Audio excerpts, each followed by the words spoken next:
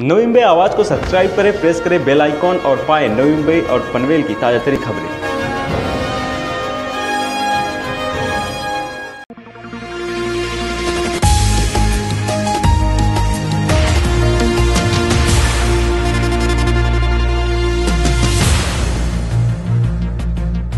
नवी मुंबई वाशी के Fortune hotel में 20 सितंबर गुरुवार को क्लिवलैंड साइकिल वर्क सीसीडब्ल्यू के डायरेक्टरों द्वारा पत्रकार परिषद का आयोजन किया गया था, जिसमें उन्होंने बताया कि भारत का यह पहला शोरूम है जो कि नवी मुंबई वाशी में स्थित है और क्लिवलैंड साइकिल वर्क्स ने ऑल इंडिया डीलरशिप के माध्यम से ये शुरुआत की है। उन्होंने ये भी बताया कि वर्तमान में 23 देशों में वे इस मोटरसाइकिल का उत्पादन व वितरण करते हैं।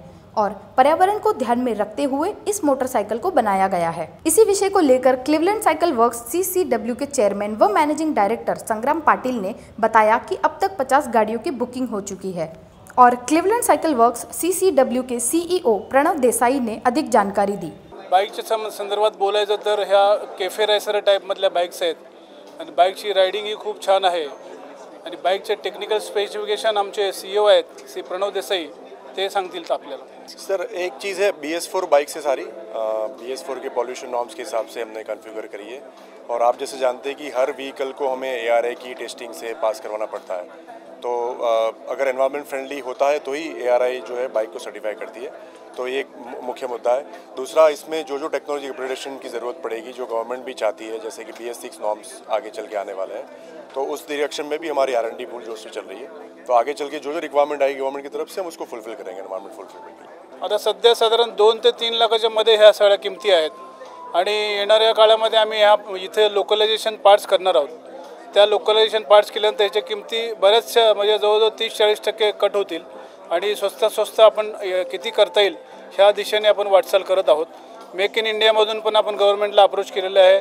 स्किल इंडियामध्ये पण अप्रोच केलेलं आहे सेंट्रल गव्हर्नमेंटला की आम्हाला काही फॅसिलिटी टॅक्सेशन फॅसिलिटीज ज्या मिळाल्या तर आपण जेवढं काही स्वस्त करता येईल तेवढं आम्ही कमीत कमी मार्जिनमध्ये हे लोकांसमोर पोचवायचा आमचा प्रयत्न आहे. आणि दुसरी गोष्ट अशी आहे की जर ॲव्हरेज पॉईंट ऑफ व्ह्यू जर बघितला तर आपल्या देशामध्ये दोन तीन प्रकारचे लोक आहेत. काही लोक पंचवीस लाखाच्या आणि तीस लाखाच्या गाड्या पण घेतात फक्त त्यांना रायडिंगची मजा घ्यायची असते. तर आपण एक अफोर्डेबलच्या हिशोबाने विचार करून हे मार्जिन ठेवलेलं आहे की स्वस्तात बाईक काढून आणि रायडिंगच्या मोठ्या बाईकची मजा त्यांनी छोट्या बाईकमध्ये पण त्यांना मिळावी. अशा रूपाने आपण त्या बाईकच्या किमती कमी करून रायडिंगची ही लोकांना मजा देणार आहे. बुकिंग्स ऑलरेडी चालू झालेल्या आहेत. पन्नास एक बुकिंग्स आपल्याकडे लिस्ट ऑलरेडी आलेली आहे. आणि ही बाईक आता एक दहा पंधरा दिवसात रस्त्यावरती यायला चालू होतील. वीडियो जर्नलिस्ट साई पवार के साथ पंकज बेनवंशी की रिपोर्ट